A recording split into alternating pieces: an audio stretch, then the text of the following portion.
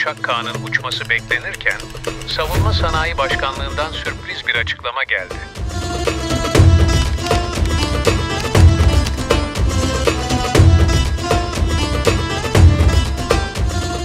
Savunma Sanayi Başkanı Haluk Görgün'den sürprizler olacak açıklaması herkesi heyecanlandırdı. Bunu böyle bitirelim diyoruz ama şeyde şu motor böyle bitti. Olmaz. Biz kendi stilimizi koymamız lazım. Çok teşekkür ediyorum. Evet, herkesin de kabul ettiği, bütün dünyanın kabul ettiği bir gerçek var. Türkiye savunma sanayinde devrim yapıyor. Treni yakaladı. Herkesin de kabul ettiği, bütün dünyanın kabul ettiği bir gerçek var. Türkiye savunma sanayinde devrim yapıyor. Treni yakaladı.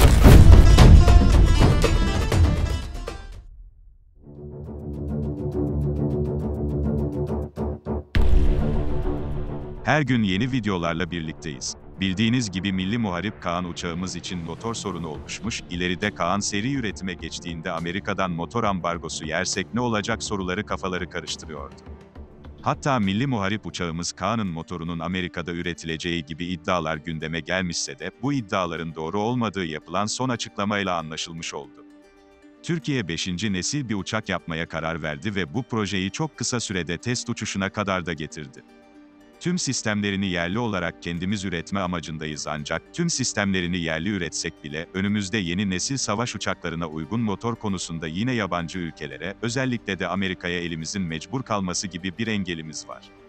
Savunma Sanayi Başkanımız Haluk Görgün'ün son yaptığı açıklama ile, Kaan uçaklarımızın yabancı motorlar ile değil, kendi ürettiğimiz motorlarla uçacak açıklaması, Kaan'ın motor sorunu hakkındaki kafa karışıklığını bir nebze olsun ortadan kaldırdı. Yani yapılan açıklamada Kaan'ın motoru için özel bir ekiple özgün bir motor için çok ayrı çalışmalar yürüttüklerini ve bu çalışmanın uzun zamandır yapıldığını belirterek Kaan uçağının seri üretime geçmesinden önce motorun yetişeceğini söyledi. Testleri zaten F-110 motoruyla yapacak olan Kaan uçağının, test sürecinde yıpratacağı kadar motor şimdiden stok yapılmış durumda. Bildiğiniz gibi bu motorları hali hazırda F-16 uçakları da kullanıyor ve elimizde de F-110 motoru olsun, yedek parça olsun yeterince bulunmaktadır. Savunma Sanayi Başkanımızın açıklamasına kısaca değinip, sonrasında Kaan'ın şimdilerde kullandığı F-110 motoruyla 5. nesil uçaklarda kullanılan yeni nesil motor arasında ne gibi farklar bulunuyor konusuna geçelim.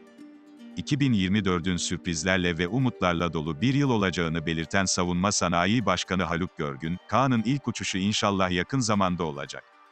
F-16 yapısal projemizin yine teslimatları yapılmaya başlanacak dedi. Milli Muharip Uçak Kaan'ın motoru için yurt içinde özgün bir çalışma yürüttüklerini belirten Görgün, var olan tüm sistemlerimiz için motorlarımızı kendimiz üretiyoruz. TB3 tamamen yerli motorla uçuyor. Kaan'ın motoru için çok ayrı bir ekip uzun zamandır çalışırken, TR Motor bu işin bir parçasıdır. Bizim planımız kendi ürettiğimiz motorun seri üretime yetişmesi dedi. Dünyada şimdilik 5. nesil uçaklarda kullanılan motorlar 5 ülke tarafından üretilebiliyor. Birincisi Rusya'nın Su-57 savaş uçağında kullanılan, NPO Saturn tarafından geliştirilen Al-41F motoru, yüksek performans, süpersonik seyir ve gelişmiş manevra yetenekleri sağlamak üzere tasarlanmıştır ancak bu motorun tam bir 5. nesil olmadığını söyleyen uzmanlar da var.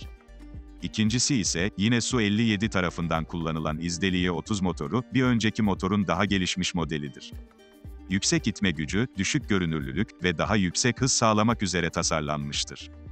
Üçüncü motor ise EJ200 Eurojet turbo motorudur. Bu motor, Eurofighter Typhoon uçağında da kullanılırken, Almanya, İngiltere, İspanya ve İtalya tarafından yüksek manevra kabiliyeti, düşük radar izi ve çok yönlü kullanım sağlamak üzere tasarlanmıştır. Dördüncü sıradaki motor ise VS-15 Çin Halk Cumhuriyeti tarafından üretilen motordur. Gelişmiş performans ve düşük gözle görülürlük özellikleri sağlamak üzere tasarlanmıştır. J-20 savaş uçağında kullanımdadır.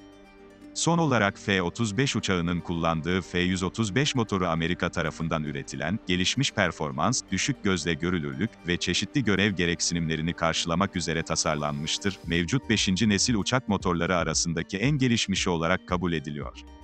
Peki, şu anda yerli Kaan uçağımızda kullanılan F-110 motorunun eksileri ve artılarına da kısaca değinmek isterim. F-110 motoru, F-16 savaş uçağında kullanılan bir turbofan motordur. F-110 motoru, F-16'nın performansını artırmak üzere tasarlanırken, daha yüksek itme gücü ve hız sağlayarak uçağın genel performansını da artırır. Motor, modüler bir tasarıma sahiptir. Bu da bakım ve onarımları daha kolay ve etkili hale getirir. Modüler yapı, belirli bileşenlerin daha kolay değiştirilmesine olanak tanır. F-110 motoru, F-16'nın yüksek manevra kabiliyetini desteklemek için optimize edilmiştir. Bu, hava muharebe ortamında çeşitli manevraları gerçekleştirebilme yeteneğini artırır.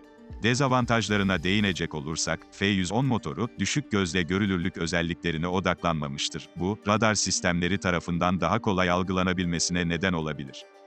Gelişmiş performans sağlamak adına F-110 motoru, yakıt tüketimine dikkat eden tasarımlar arasında değildir. Bu da uçağın menzilini etkileyebilir. Modüler olmasına rağmen, F-110 motorunun bakım maliyetleri o kadar da düşük değildir. Özellikle karmaşık bir yapıya sahip olduğu için, bakım ve onarımlar zaman alabilir ve maliyetli olabilir. Her ne kadar F-110 motoru, F-16'nın güçlü bir savaş uçağı olmasını sağlayan önemli bir bileşen olsa da, daha yeni nesil savaş uçakları için tasarlanmış motorlarla kıyaslandığında, bazı sınırlamalara sahip olduğundan performansı çok düşük kalıyor.